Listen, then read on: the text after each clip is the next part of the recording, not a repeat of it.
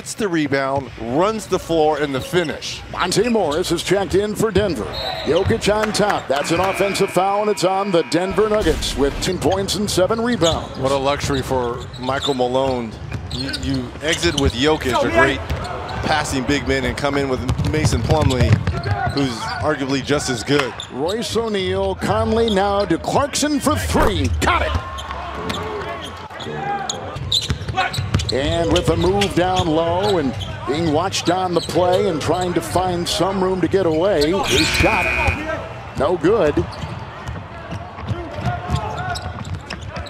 And the other way, Clarkson. Tony Bradley is also now checked in for the Utah Jazz. He has been playing well when in.